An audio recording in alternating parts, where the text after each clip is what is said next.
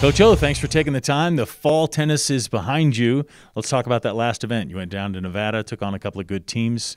Your impression of your team? Yeah, it was a great tournament for us. We got to play some really good competition teams that we'll see uh, again in the in the spring season. So I was really pleased with how we we performed. Had some really good wins by some guys, and uh, just highlight a couple of them. Luke Wolf was two and one in singles. Kyle Garner had a really solid win um, as well. Um, Johnny Mosconi and Robert Balon beat two very solid players at the top of their lineups.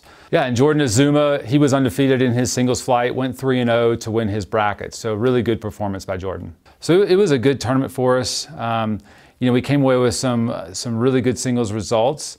But uh, I, we, I, felt like we did leave a few matches on the table, uh, especially in doubles. I, I, always feel like we should be performing better in doubles, you know, this this fall season, our, our doubles was not what it, what we finished up with last year. So I know we've got some work there left to do. Um, unfortunately, Nick Vroman got injured with an ankle injury on the first day, and so he was unable to complete the tournament. And um, um, Arjun Kirsten had a had a solid win in, in, singles as well against a Davis player.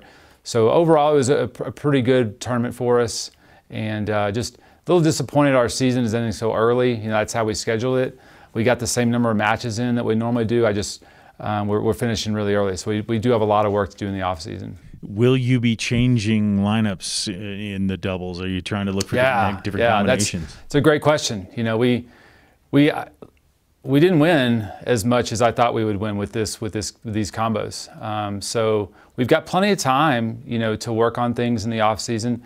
I don't think there's anything wrong with uh, you know throwing six new teams out there going into the spring season. You know, I think this offseason gives us the opportunity to look at different combinations.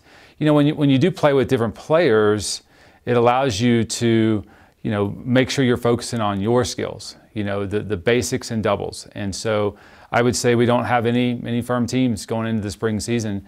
No one of, of those three starter teams or four starter teams really performed uh, well enough in my mind to, to hold a spot for sure for the, for the spring season. So I think everything's open on the table for the spring. For sure. So how do you go now? What do you do between now and spring to get better, or what do you need to work on? Yeah, you know, that's a great question because I, I think what, what from singles, what I saw that our team lacked a little bit was um, first serve percentage and ability to win free points or get short balls on our first serves. You know, where I think of the three teams there, we served, uh, you know, weaker than the other three teams. And so that's definitely something we can work on in the off season.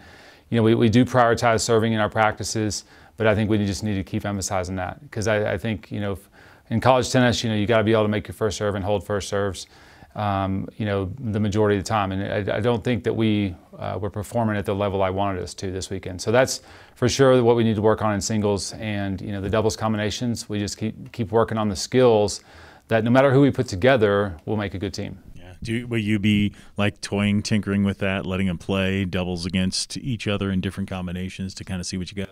Right. That that's you know we, we do want some chemistry with the teams, and we we certainly don't want to to throw guys out for the first time in the dual match season together. So we have about three months to, to, to figure this out, and uh, guys should have a pl- plenty of opportunity to play with with new players.